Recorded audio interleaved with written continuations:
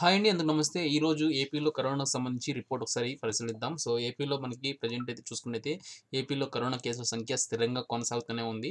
గడిచిన ఇరవై నాలుగు గంటల్లో రాష్ట్రంలో నాలుగు వేల నాలుగు వందల యాభై ఎనిమిది కేసులు అయితే నమోదయ్యాయి. ఇక ఈ మహమ్మారి బారిన పడిన మరో ముప్పై మంది అయితే ఈ ట్వంటీ ఫోర్ అవర్స్లో అయితే చనిపోవడం అయితే జరిగింది. మరోవైపు రాష్ట్రంలో గత ఇరవై నాలుగు గంటల్లో ఆరు వేల మూడు వందల పదమూడు మంది కరోనా నుంచి పూర్తిగా నయమయ్యింది సో చూసుకున్నట్లయితే ట్వంటీ ఫోర్ అవర్స్లో మళ్ళీ మనకి నాలుగు వేల నాలుగు వందల యాభై ఎనిమిది కేసులు అయితే డైలీ అప్ అండ్ డౌన్ అయితే పెరుగుతూనే ఉన్నాయి. Twenty four hours average period చూసుకుంటుంటే మనకి కేసులు అయితే పెరుగుతూనే వస్తూనే ఉన్నాయి.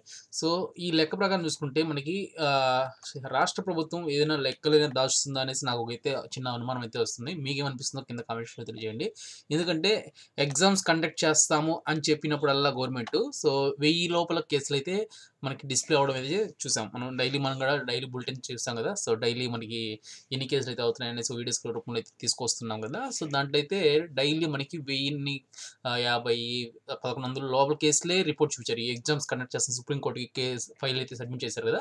సో అప్పటి నుంచి అయితే థౌజండ్ వరకే చూపిస్తూ వచ్చారు. సో ఎప్పుడైతే మన ఎగ్జామ్స్ మనకి రద్దయినాయో సో అప్పటి నుంచి విపరీతంగా మళ్ళీ కేసులు పెరుగుతున్నాయి. సో అప్పుడు అంటే జెన్యున్గా వచ్చే అప్డేట్ అయితే ఇదే.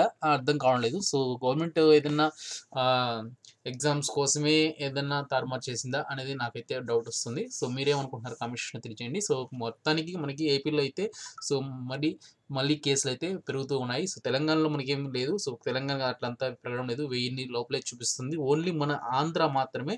సో విపరీతంగా కేసులు మళ్ళీ day by day twenty four hours చూసుకుంటే యావరేజ్ పీరియడ్ పెరుగుతూనే పోతున్నాయి. సో తెలంగాణ అయితే వెయ్యిన్ని ఎనభై ఎనిమిది కేసులు మాత్రమే నమోదయ్యాయి సో తెలంగాణలో వాళ్ళు కరెక్ట్గానే అప్డేట్ ఇస్తున్నారనేది అనుకోవచ్చు.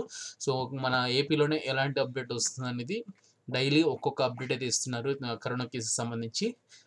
ఇప్పుడు మాత్రం కరెక్ట్గా ఇస్తున్నారు అనేసి నా అభిప్రాయం. మీరేమంటారో కామెంట్ కామెంట్ చేయండి. ఓకే అండి. Thank you